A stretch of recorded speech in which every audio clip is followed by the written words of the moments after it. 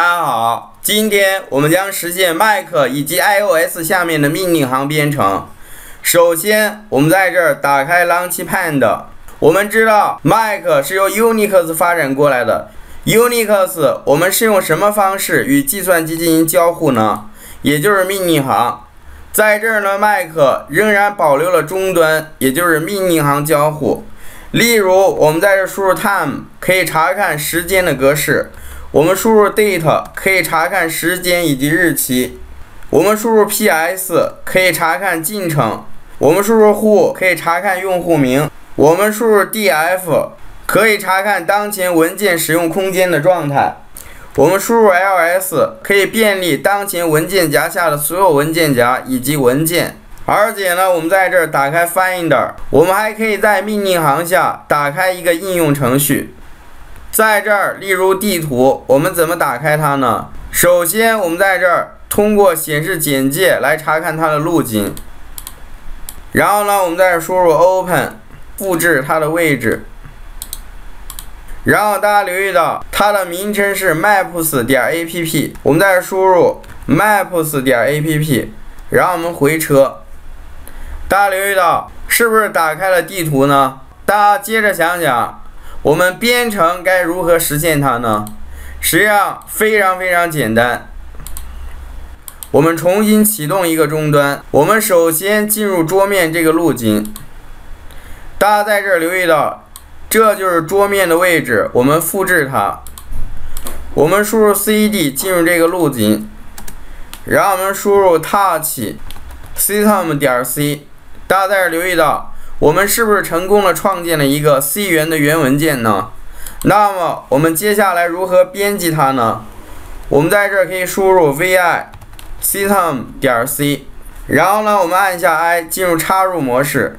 首先我们在这 include stdio 点 h，然后呢，我们输入 int main，然后我们输入括号大括号。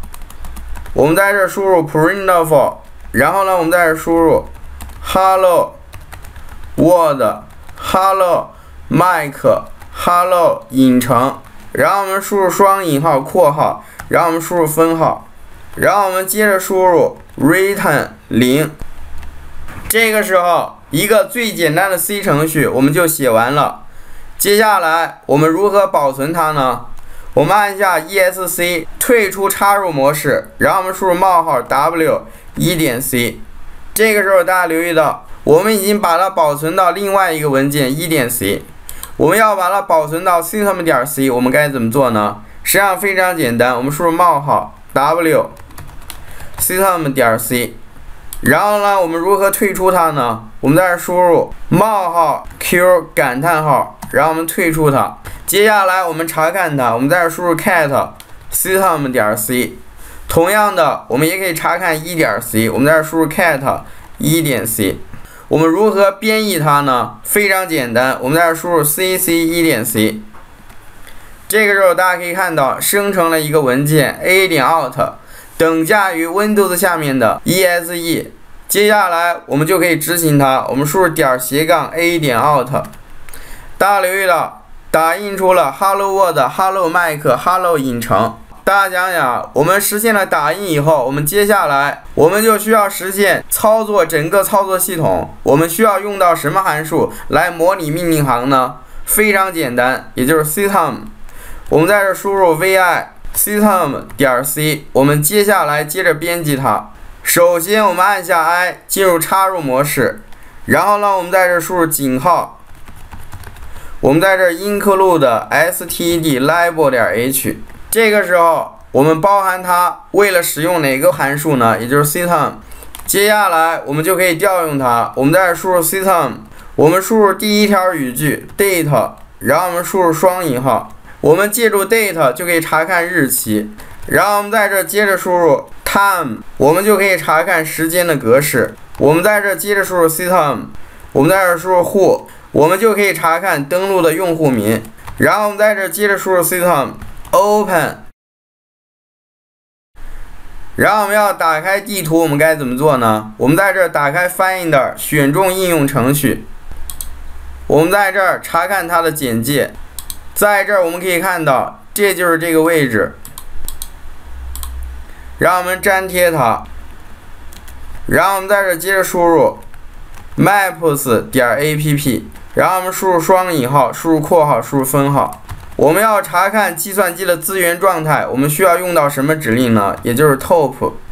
然后我们在这输入分号，接下来我们就可以保存它。我们按下 ESC 退出插入模式，然后我们输入冒号 w system 点 c。接下来我们需要退出这个编辑器，怎么做呢？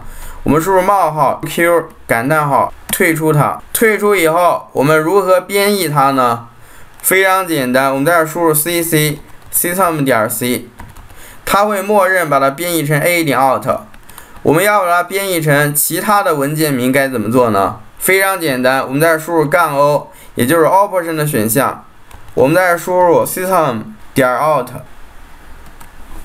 接下来我们就可以启动它。我们输入点斜杠 system 点 out。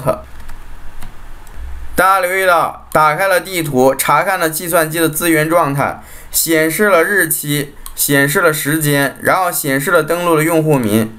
这个下面就是查看计算机的状态，而且呢，打开了地图。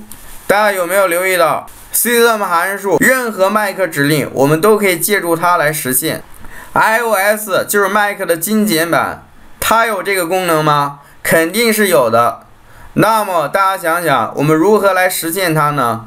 实际上非常简单。我们在这儿关闭终端，像然后呢，我们在这儿启动 Xcode，Create New Xcode Project。我们在这儿选中 iOS Application，这里有很多个模板。我们在这儿选中 Single View Application，然后呢，我们在这儿单击 Next，我们在这儿输入 System 就是我们应用程序的名称，Organization Name 我们就在这儿输入陈颖，Company Identifier 就是公司标识符，我们在这输入 ITcast，这里还有一个 Bundle Identifier，也就是这个应用程序的标识符加上一个公司的前缀。这里呢有一个类前缀，我们默认 X Y Z。这里有 Device、iPhone、iPad、Universal，我们在这选择默认的 iPhone。然后呢，我们在这单击 Next，我们就创建它。创建完成以后，我们在这来查看一下 Build Setting。大家留意到没有？iOS 上面的应用程序，我们也可以使用 C C 加加来开发。我们在这启动慢一点 Storyboard。然后呢，我们在这拖入一个 button，然后我们直接运行起来。大家留意到这个程序运行起来了，我们按下 button 以后，是不是什么反应都没有呢？那是为什么呢？因为我们按下这个按钮，是不是没有触发任何代码呢？我们如何让它触发我们的代码呢？实际上非常简单，我们在这单击 stop。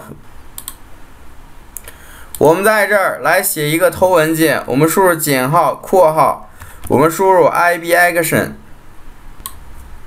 然后呢，我们输入 go，接下来我们打开 view controller 点 m，我们在这输入减号括号 ibaction，我们输入 go，然后呢，我们输入大括号，接下来呢，我们 include stdio 点 h。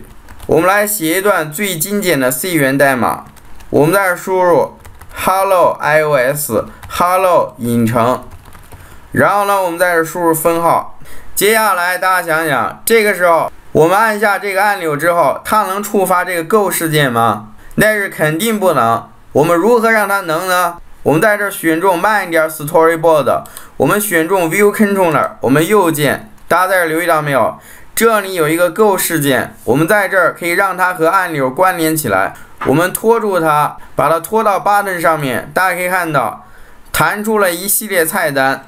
我们在这儿可以选中 Touch Down，大家留意到这意味着什么呢？也就是这个按钮 Touch Down 以后，也就是被按下了以后，就会触发这个 Go 事件。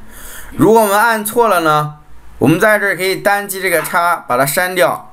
接下来，我们拖住它，选中它气档，也就是按钮按下之后就会触发这个事件。接下来，我们就把它运行起来。然后呢，我们选中它，在这儿我们就可以查看输出。我们按下 button 以后，大家可以看到打印出了 Hello iOS，Hello 影城。再次，再次，是不是都一样呢？大家想想，我们要执行 system 指令，我们该怎么做呢？实际上轻松加愉快。我们在这儿选中 View Controller，我们在这儿接着包含一个头文件，哪个头文件呢？std label 点 h。然后大家想想，我们要执行一个指令该怎么做呢？我们在这儿输入 system，我们要查看当前的日期和时间，我们就可以输入 date。我们要查看目录，我们就可以用 ls。现在在这儿，我们再次运行起来。我们按下按钮之后，大家发现没有？这个时候打印出了 Hello iOS Hello 影城，而且呢显示了日期和状态，而且呢便利了所有的目录。所以大家有没有发现呢？Mac 下面的很多很多指令都可以在 iOS 上运行。在这儿大家可以看到，这就是所有的 Unix 指令大全。大家知道吗？Mac 是由 Unix 发展过来的，所以呢，它继承了 Unix 百分百的指令，而 iOS 呢，又是 Mac 的精简版，它继承了 Mac 百分之九十的指令。大家现在了解了我们如何借助 C 语言的 system 函数来实现对操作系统的控制。我们知道命令行可以控制整个操作系统，所以呢，我们现在也可以通过 C 语言变一个 system 函数来模拟命令行，完成所有的操作。希望大家一定要认真实践。